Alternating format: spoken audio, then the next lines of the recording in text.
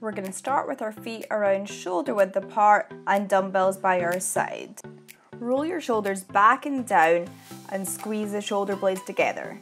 You want to keep your shoulders in this position throughout the whole movement. Don't shrug your shoulders up as you lift the weight. Exhale as you raise your arms up to shoulder height and then inhale as you slowly lower them back down.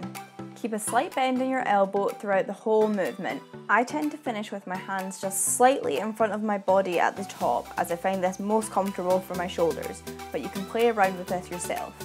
If you feel like your shoulders are clicking or crunching at all, really focus on your form and try using a very light weight or even no weight at all.